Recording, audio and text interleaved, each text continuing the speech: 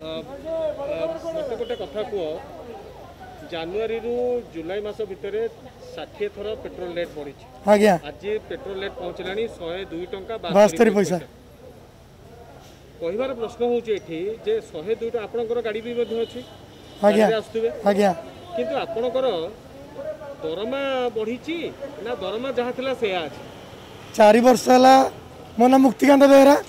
ମୁଁ ଏଇଠି ଅଠେଇଶ ବର୍ଷ ହେଲା କାମ କରୁଛି।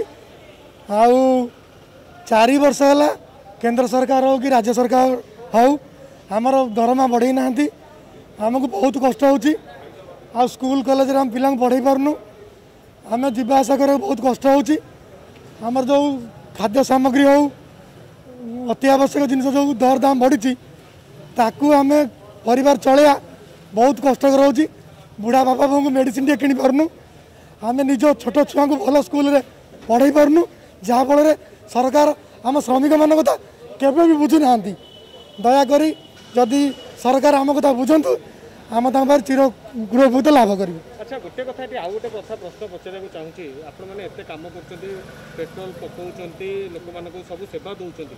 ଆପଣମାନଙ୍କୁ ପେଟ୍ରୋଲ ପମ୍ପ ତରଫରୁ କିଛି ପେ- ପେଟ୍ରୋଲ ମିଳୁଛି? ନା ମିଳୁନି? କୌଣସି ସୁବିଧା ସୁଯୋଗ ନା ସରକାର ଦେଉଛନ୍ତି ନା ଓନର ପେଟ୍ରୋଲିୟମ କମ୍ପାନୀ ଦେଉଛନ୍ତି ଖାଲି ଯାହା ଆମକୁ ସାଲାରୀ ମିଳୁଛି ସେତିକି ଯା ଆଉ କିଛି ମିଳୁନି ଖାଲି ସାଲାରୀ କାମ କରୁଛୁ ଦରମା ନେଉଛି आप कॉन्ट्रैक्ट लेबर पे हो या परमानेंट हो वो डीलर के अंडर में हूँ कॉन्ट्रैक्ट यानी कि कॉन्ट्रैक्ट हम्म ଠିକ ଅଛି क्या तनख्वाह है आपका तनख्वाह नौ हजार तीन सौ नौ हजार रुपया और कितने घंटे काम करते हो वो दस घंटे आप कितने बच्चे हैं दो बच्चा दो बच्चा।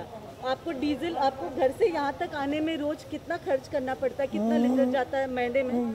पंद्रह सौ रुपया दो हज़ार रुपया चला जाता है। दो हज़ार रुपया अगर किसी को अपने नौकरी के लिए आने के लिए लग रहा है तो हम समझ सकते हैं नौ हज़ार रुपया में से सात हज़ार रुपया ही बचा पाता है। वो सात हज़ार रुपया में उनको घर चलाना है उनके बूढ़े माँ बाप का ध्यान रखना है उनको अपना भाड़ा देना होगा उनको खाना खिलाना होगा उसके ऊपर से करीबन नौ सौ कितना है? अभी आपका सिलेंडर का रेट आप सिलेंडर लेते हो? Petrol pump. नहीं सिलेंडर घर पे चलता है क्या रेट है सिलेंडर का? आठ सौ पचहत्तर।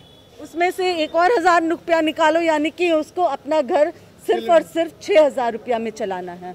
मोदी सरकार को कहा जाए कि उनके सारे मंत्रियों को लगा दे छह हज़ार रुपया में अपना घर खरीदना फिर पता चलेगा।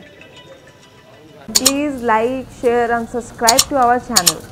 And your comments are valuable as well.